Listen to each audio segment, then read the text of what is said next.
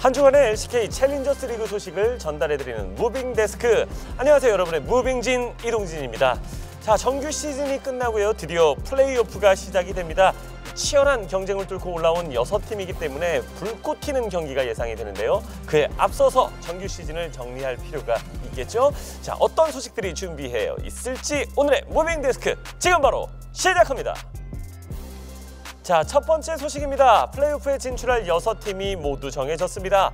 부동의 1위 자리를 지킨 DRX와 결국 2위 자리를 사수해낸 담원기아가 2라운드에 직행하는 데 성공했고요.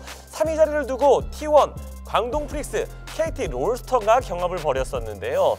결국 3위에는 T1이 올라가게 되면서 광동 프릭스와 KT 롤스터가 4위 자리를 두고 재경기를 진행하였습니다. 플레이오프 1라운드에서 만나는 두 팀이지만 이 자존심이 걸린 문제이기 때문에 정말 치열한 경기가 펼쳐졌는데요. 자, 과연 어떤 결과가 나왔을지 지금 바로 만나보시죠.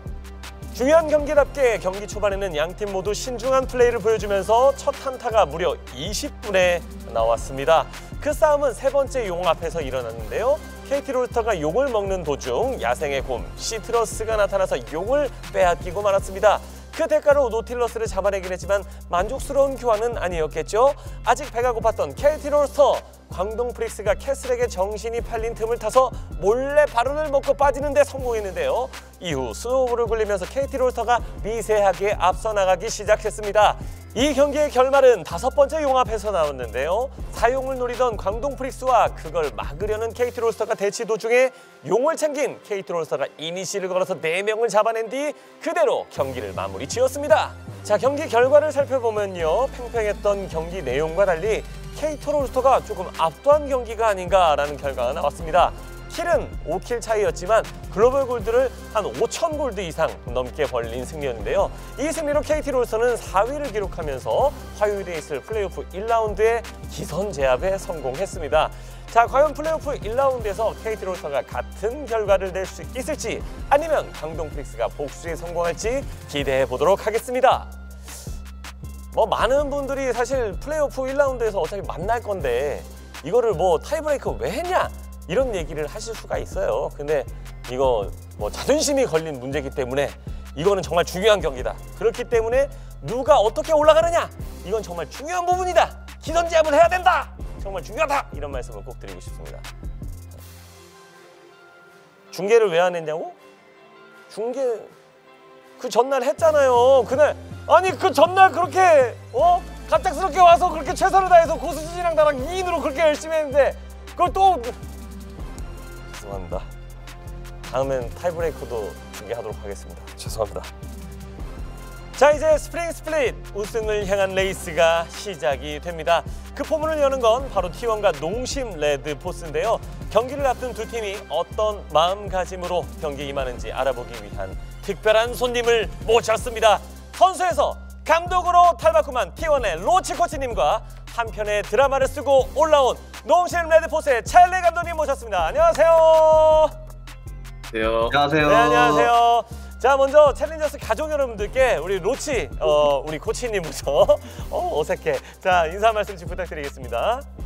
어, 안녕하세요. 저는 작년까지 선수를 하다가 이번에 T1 CL팀, CL팀 코치를 맡고 있는 로치 김강이라고 합니다. 오! 자, 다음 우리 첼리 감독님.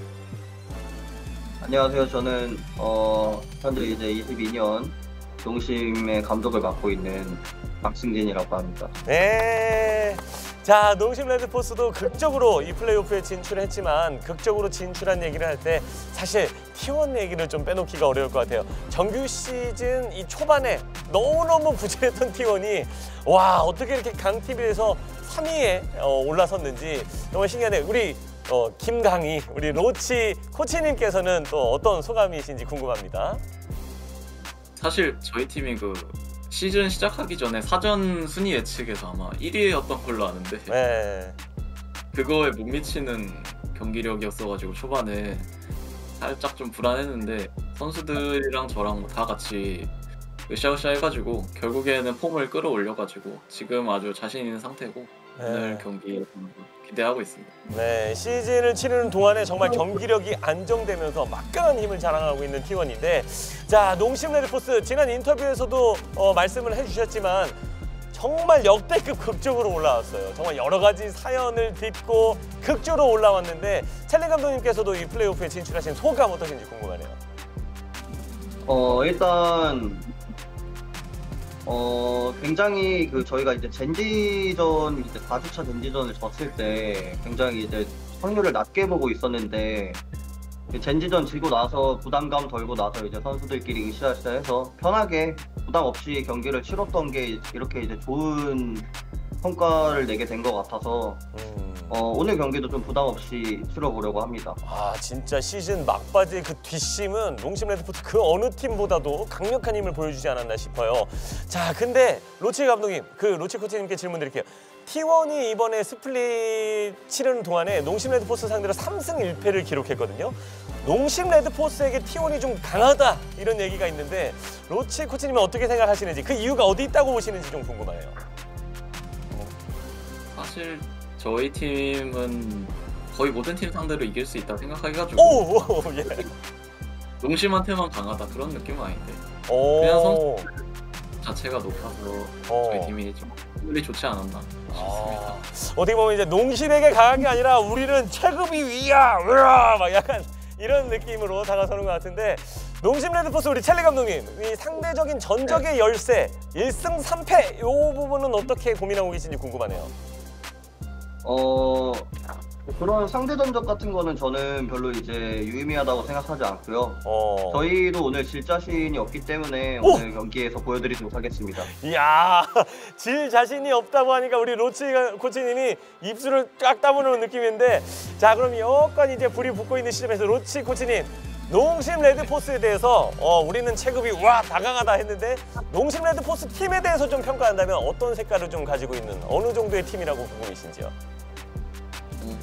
농심은 팀적인 움직임이 되게 좋은 것 같아서 어, 뭐 든든 선수도 확실히 든든한 것 같고 어, 바텀 선수도 강한 것 같고 팀적으로 다 약간 엄청 합이 잘 맞는 것 같아서 사실 잘하는 팀이라고 생각은 하고 있습니다. 저희. 오, 팀 합이 좋기 때문에 어떻게 보면 이제 어, 개인적인 역량은 조금 딸린다 이런 느낌 아 농담이고요. 우리 첼리 감독님께서는 이 T1의 강점, T1에 대한 장점 어떤 거라고 보고 계신지 궁금하네요. 어 저희 같은 경우에 이제 T1 전을 이제 치를 때 각별히 이제 조심을 해야 될 거라고 생각하는 게 이제 포톤 선수의 역량이 아닌가 생각을 하고요. 오. 아무래도 어, 김강희 코치님이 이제 탑 선수 출신이다 보니까 포톤 선수가 이제 T1에 들어가셔서 한층 더 날카로워진 라인전 아, 이런 능력이 가장 저희 입장에서 경계되는 것 같아요. 아무래도 이 탑에 대한 전문성이 반영되지 않았을까라는 좀 예측이 들고 어, 포톤 선수의 어떤 시너지 포톤의 또 기억을 어, 또 더듬고 있는 것 같아요. 자 우리 첼리 코치님께서 농심 레드포스가 T1을 잡기 위한 오늘의 열쇠 요 선수가 될 것 같다라고 음. 우리 팀에 key player가 있다면 누구로 좀 생각하고 계신지. 저희는 뭐 사실 언제나 바텀에 대한 믿음이 자리 잡고 있기 때문에 어. 저희는 예, 저희 농심의 이제 팀합 매운맛 한타로 이겨보려고 생각 중입니다. 야 역시 팀의 합으로 화끈한 한타로 승리를 거머쥐겠다라는 그리고 바텀에 대한 기대치를 말씀해 주셨는데 우리 김광희 코치님께서는 어, 지금 키 플레이어 포톤입니까 어떻습니까? 아 저는 포톤 선수라 생각하지 않고 저는 포레스트 선수가 올해 데뷔 오. 사실. 다전제에서 긴장할 수도 있다고 생각해가지고 어. 오늘 포레스트 선수가 잘해주면은 쉽게 이길 것 같고 약간 좀 긴장하면은 뭐 몇판 질 수도 있지 않을까 정도 야 어떻게 보면 이제 약간 어, 기대치도 있음과 동시에 약간의 불안 요소까지 있는 지야말로 열쇠를 쥐고 있는 게 key player가 포레스트라는 말씀을 해주신 것 같아요. 자 이번 시즌 사실 맞대결을 앞두고 있는데 이 각오 한마디 어, 상대 팀에게 그리고 우리 팬들에게 한 말씀 농심 레드 포스부터 한번 가도록 하죠. 어 이제 막, 어 저희 이제 미라클런부터 이제 지켜보셔 보신 이제 팬분들에게 너무 감사드리고요. 또 저희는 오늘 이제 플레이오프 경기가 저희 팀이 상대적으로 약세에 있다고 생각하지 않기 때문에 오늘 경기에서 그 모습 제대로 보여드리도록 하겠습니다. 네. 아, 상대 이제 T1 김광희 코치님께도 선전포고 한마디 해주세요. 어 선전포고 음 저희 선수들이 네 경기에서 보여주지 않을까 생각합니다. 야 선수들이 경기 내적으로 실력으로 보여주겠다라고 말씀해 주셨습니다. 자 우리 어, 우리 지금 사실 선수 때부터 지금까지 코치가 된 이후에도 변치 않고 응원해주는 우리 팬분들, 우리 로치의 팬 그리고 T1의 팬 그리고 많은 이 사랑을 챌린저스 리그를 사랑해 주시는 가족 여러분들께 각오 한 말씀 부탁드립니다. 어, 제가 선수를 은퇴했음에도 코치를 시작하고 나서도 계속 응원해주신 팬들, 팬분들이 정말 많은데 저희 스프링에는 플레이오프 가서 한 판도 진 적이 없기 때문에 오. 이번 시즌 다시 무패 우승할 수 있도록 노력할 거고 어, 결승 가서 꼭 그 경기장에서 경기하는 모습 보여드릴 수 있도록 노력하겠습니다. 우와, 전 지금 소름 돋았잖아요. 플레이오프에서 한 판도 진 적이 없다. 안 가면 안 갔지. 가서 진 적은 없다. 오, 이런 소개가 또 나올 수 있네요. 네, 오늘 어, 바쁘신 나중에도 우리 감독 첼리 감독님 그리고 로치 코치님까지 어, 시간 내주셔서 진심으로 감사드리고요.